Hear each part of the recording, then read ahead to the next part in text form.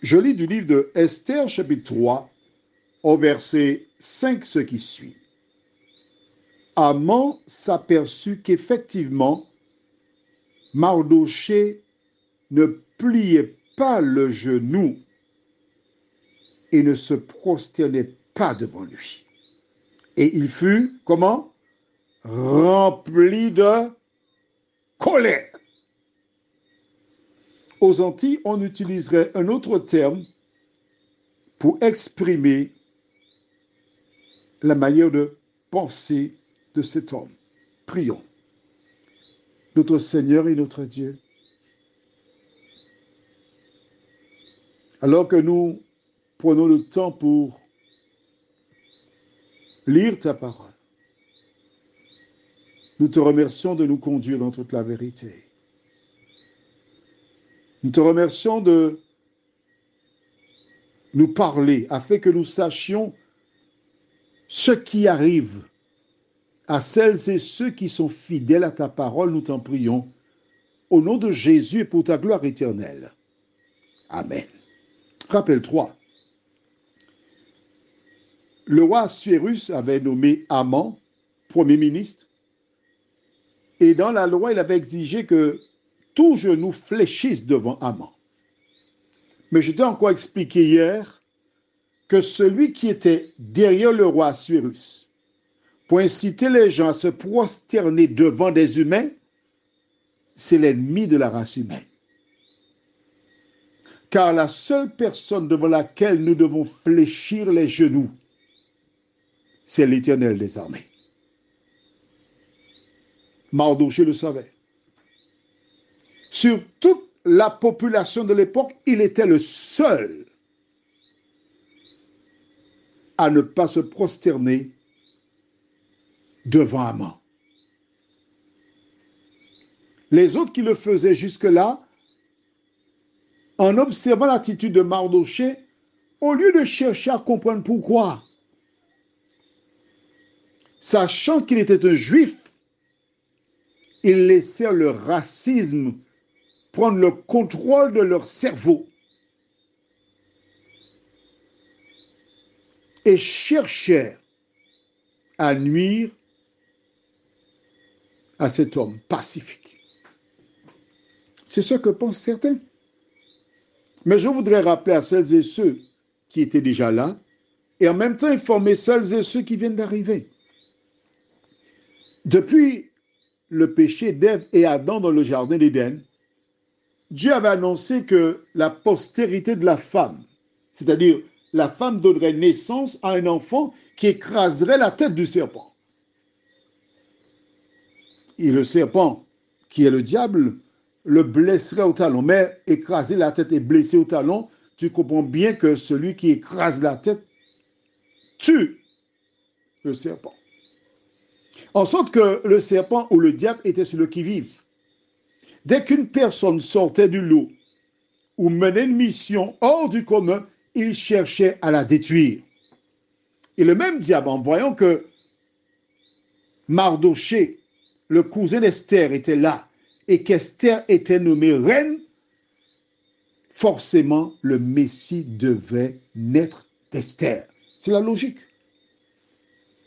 Alors il utilisa ces hommes pour soulever le premier ministre Amon contre Mardoché. Et sachant que, mais il avait oublié ça, il, il ne savait pas le détail. En détruisant Mardoché, à travers lui, on détruirait aussi Esther et ainsi le plan de Dieu allait échouer. C'est ça le projet du diable. Les gens dire à Amant, Mardoché refuse, c'est un juif, il refuse de se prosterner devant toi. Il faut pas regarder ça comme ça. Hein. Il faut agir. Hein. Et Amant commença à observer. La Bible déclare, selon la référence que nous avons vue aujourd'hui, la partie qui nous intéresse, Amant s'aperçut qu'effectivement, Mardoché ne pliait pas le genou et ne se prosternait pas devant lui. Et il fut rempli de colère. Aux Antilles, j'ouvre les guillemets pour fermer tout de suite. Aux Antilles, on dit il fut enragé. Et lorsqu'on est aux Antilles enragé, on utilise un terme. J'ouvre les guillemets encore. Mais prend ses rajout. En français, je vais m'occuper de toi. Mais rappelle-toi, Mardoché est le seul à ne pas se prosterner devant Amant. Même si le monde s'écroule autour de toi, même si tu es la seule personne de ta famille, dans ton quartier, à être fidèle à Dieu, aussi longtemps que tu as la certitude que tu es fidèle à ton Dieu, demeure fidèle jusqu'au bout.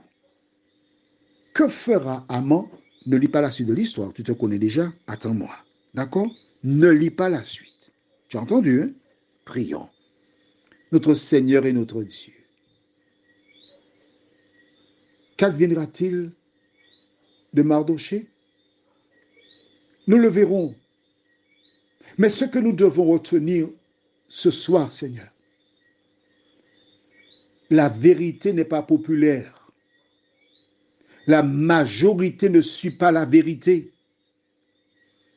L'important pour moi, c'est de suivre la vérité.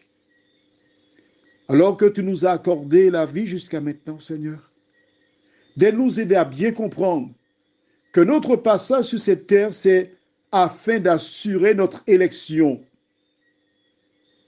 de réserver notre salut en t'acceptant comme sauveur personnel. Car la vie est courte. Seigneur, merci pour toutes les bénédictions que tu déverses sur nous. Et je voudrais prier spécialement ce soir, Seigneur, pour Liline, qui est en métropole, qui m'a envoyé un WhatsApp ce matin.